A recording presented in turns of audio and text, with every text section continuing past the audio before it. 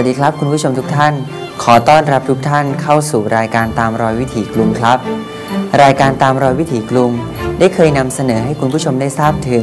เรื่องราวและประวัติความเป็นมาต่างๆ ของว่าวไทย และในวันนี้ รายการตามรอยวิถีกรุง ยังขอพาคุณผู้ชม กลับมาทราบถึงประวัติความเป็นมา และกติกาการแข่งขัน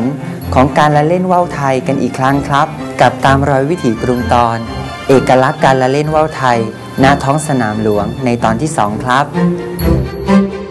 ขอเสนอตอน เอกลักษณ์การละเล่นว่าวไทย ณท้องสนามหลวงตอนที่สอง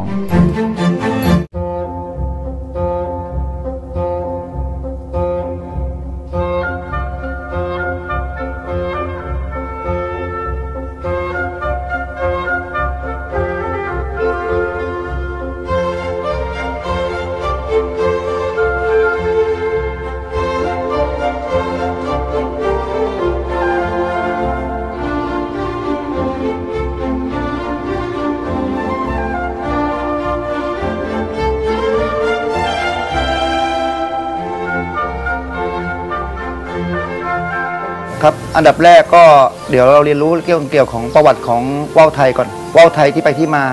ตั้งแต่สมัยที่เราทราบกันอยู่ก็คือว่าประเทศไทยเราเนี่ยไม่ใช่เล่นว่าวมาก่อนนะฮะรับอิทธิพลมาจากประเทศจีน ประเทศจีนหรือประเทศอินเดียนะฮะโดยคะเนว่าน่าจะเป็นประเทศจีน เพราะว่าประเทศจีนเราเนี่ยโดยปกติแล้วเป็นอารยธรรมใหญ่ แล้วก็มีผู้คนมากมายนะครับ ก็จะมีการประดิษฐ์คิดค้นหรือว่าใช้ในเรื่องของการลบบ้างนะครับ เพื่อ ข่มฝันคู่ต่อสู้ ประเทศไทยเราเนี่ยเมื่อเจริญสัมพันธไมตรีกับประเทศจีนนะก็นำเอาสื่อวัฒนธรรมตรงนี้เข้ามาผสมผสานนะครับ แล้วก็เอามาเล่นกัน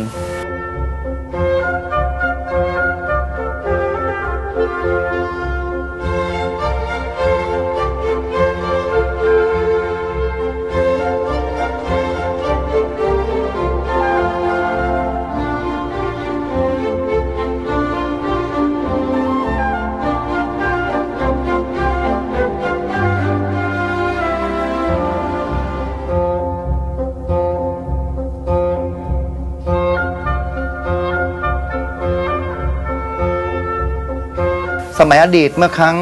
สุโขทัยเราเนี่ยก็คือมีการเล่นว่าวนะฮะก็เรียกว่าว่าวงาวนะครับ เมื่ออยู่ใน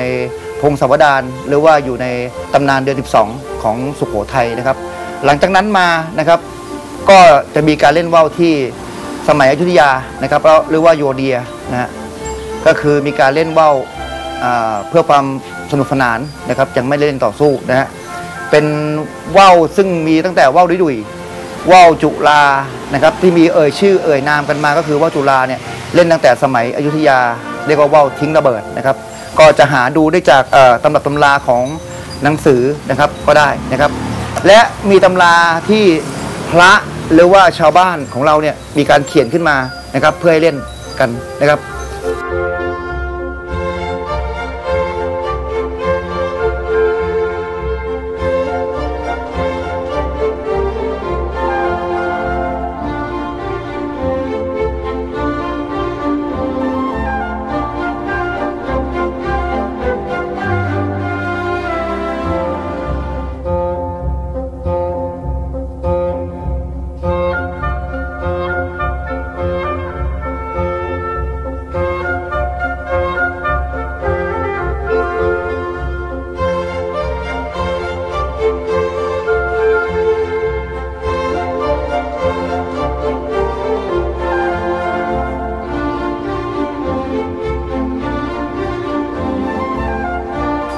การเล่นว่าวในสมัยอดีตนั้นเนี่ยก็คือเล่นกันเพื่อความเพลิดเพลิน หรือว่าเล่นเพื่อบอกอากาศ หรือว่าตรวจเช็คลม ว่ากระแสลมไปทางทางทิศไหนนะครับ จะได้ปรับตัวเองให้เข้ากับธรรมชาติที่อยู่นั้นๆนะครับ ทีนี้การเล่นว่าวเนี่ยก็จะมีสองหลักด้วยกันหลักๆ ก็คือเป็นว่าวที่ขึ้นลอยหรือว่าว่าวไทยเป็นว่าวสองมิติ แตกต่างจากว่าวของอต่างประเทศ ซึ่งมีสามมิติมองเห็นได้รอบตัวนะครับแต่ว่าวไทยเนี่ยเป็นว่าวเป็นว่าวแผงหรือว่าเป็นว่าวอ่าเขาเรียกว่าว่าวสองมิติขึ้นทวนลมเวลาขึ้นว่าวจะลักษณะขึ้นทวนลมนะการขึ้นทวนลมของตัวว่าวเนี่ยนะครับก็จะอาศัยหลักการว่าให้แต่งทรงปรับด้านหน้าคือขึ้นทวนลมขึ้นไปนะครับวิธีการขึ้นไม่ใช่ตามลมเด็กๆ อาจจะเข้าใจว่าวิธีการขึ้นว่าวคือขึ้นไปตามลมนะคือวิธีการขึ้นคือต้องขึ้นทวนลมนะก็จะมีลักษณะของการเขาเรียกว่าขา สร้างเอาขาขึ้นมาเรียกเจ้าเวหา เพราะว่าตรงส่วนเนี้ยจะสายนะจะมีการสายของตัวว่าวนะครับทำให้สายนะฮะเพื่อลมมันจะคายเข้าคายออกตรงบริเวณช่วงนี้นะฮะส่วนปีกก็คืออาศัยจากสปริงของไม้นะครับเนี่ยฮะเกิดจากสปริงของไม้ที่ดีด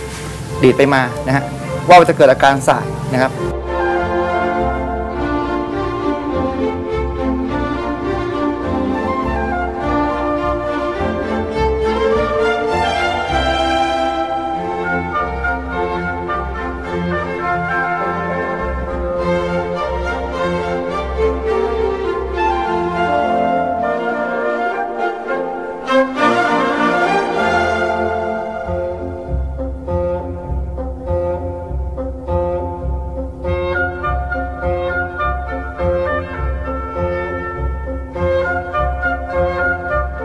นี้ว่าวไทยเราเนี่ยก็นิยมเล่นกันหลายประเภท เช่นว่าวดุยดุยนะครับว่าวจุลาปักเป้า แล้วก็ว่าวอีลุ้มว่าวรูปสัตว์รูปต่างๆนะฮะที่นำมาเล่นในเมืองไทย พอมาถึงช่วงของรัตนโกสินทร์แล้วเนี่ยบ้านเมืองเราเริ่มสงบนะครับสงครามรบอะไรก็ไม่มีนะครับ คนไทยเราเนี่ยก็นิยมหันกลับมาเล่นว่าวไทยกันมากขึ้น ในช่วงฤดูที่ว่าเป็นลมอ่าเป็นลมทะเล เมื่อครั้งอดีตโบราณตั้งแต่สมัยอายุเอ่อสุโขทัยอยุธยาเนี่ย คือลมที่มาจากประเทศจีนหรือเรียกว่าลมหนาวลมเหมันนะแต่พอมาอยู่เกาะรัตนโกสินทร์แล้วนะครับ มาตั้งราชธานีที่เกาะรัตนโกสินทร์แล้วเนี่ยว่าวไทยเราเนี่ยก็มาเล่นเอาลมตะเภาเป็นหลัก ลมตะเภาคือขึ้นจากทะเลมาเป็นหลักนะครับ ขึ้นจากทะเลมาเป็นหลัก โดยที่ว่าวิธีการเล่นก็จะมีตั้งแต่เล่นเพื่อความเพลิดเพลิน เล่นเพื่อความสวยงามนะฮะเล่นเพื่อสืบสารตำนาน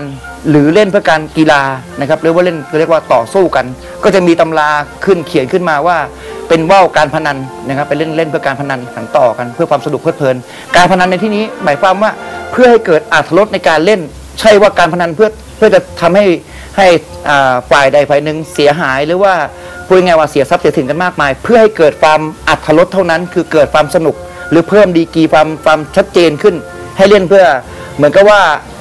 ให้ทุกคนได้ได้ได้มีส่วนร่วมนะฮะ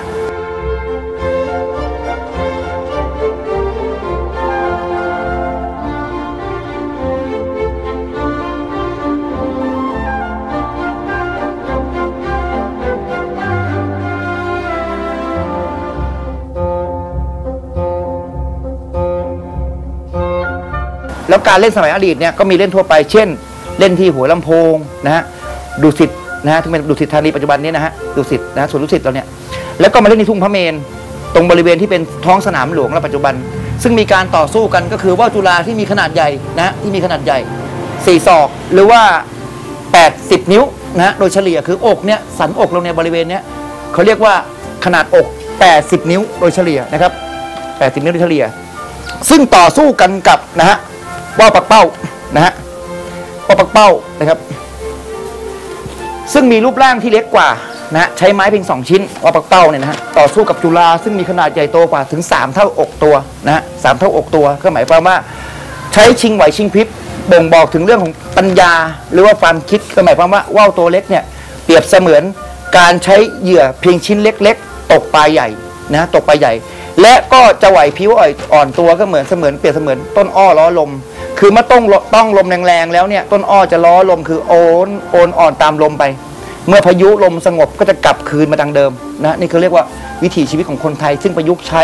เพื่อให้เกิดสติปัญญาหรือเกิดความคิด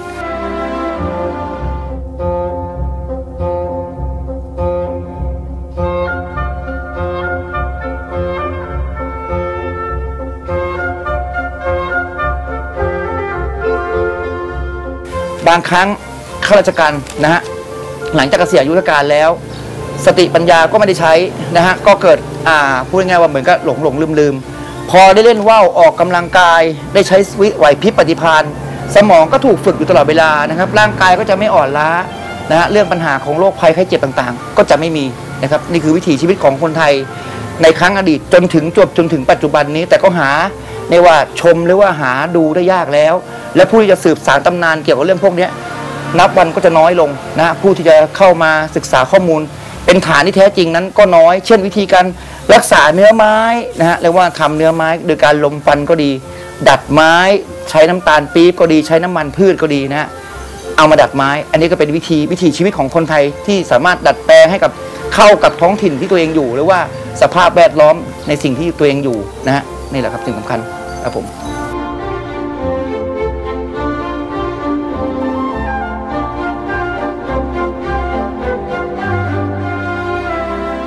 อ่าประวัติของว่าวไทยเราเนี่ยนะฮะจะพบเห็นว่าวไทยนะฮะหรือว่าว่าวต่างๆ ไม่ว่าจะเป็นว่าวจุฬาว่าวปักเป้าว่าวอีลุ้มว่าวอะไรต่างๆเนี่ยก็คือหมายความว่าจะมีสัดส่วนในการแบ่งแบ่งอัตราส่วน จะถูกเรียกได้ว่าส่วน 3 ก็ดีส่วน 4 ก็ดีมีวิธีที่แบ่งกันอย่างอย่างชัดเจนนะฮะซึ่งจะเป็นมาตราวัดนะฮะสมัยก่อนเขาเรียกว่า1ครับ หรือว่า 1กลมอกนะฮะหรือจะเป็นมาตราวัดที่เรียกว่าเมตรเซน นะฮะก็เอามานำมาปรับปรุงในปัจจุบันนี้ และมีวิธีการนะครับในการที่จะทำว่าวเนี่ยก็คือหมายความว่าขึงสักขึงลังนะฮะขึงสักขึงลังก็คือขึงโกงก่อน แล้วก็ขึงสักการจำลองการขึงสักหรือว่าขึงลังเราเนี่ยก็จะดูจากผ้าขม้าที่มีลวดลาย ซึ่งเป็นเอกลักษณ์เฉพาะของคนไทยเรานี่แหละฮะเนี่ย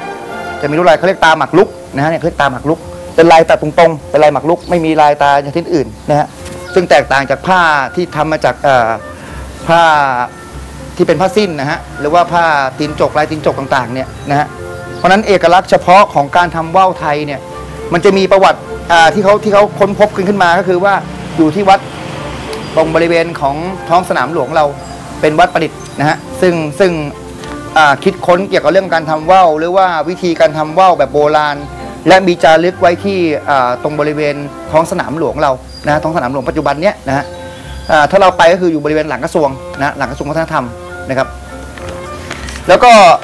วิธีการทำว่าวของเราเนี่ยการเล่นว่าวเป็นเอกลักษณ์เฉพาะอย่างหนึ่ง ซึ่งมีผู้เล่นนะครับสองฝ่ายด้วยกัน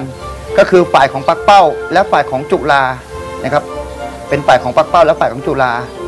การเล่นว่าวก็จะถูกเล่นกันแบบเพื่อความสนุกสนานเพื่อออกกำลังกายก็ดีนะครับ แล้วก็เพื่อสืบสานวัฒนธรรมต่างๆ เป็นวิถีชีวิตของคนไทยนะวิถีชีวิตของคนไทย ซึ่งสืบเนื่องมา นานแล้วตั้งแต่สมัยอดีตจวบจนถึงปัจจุบันเรานะครับ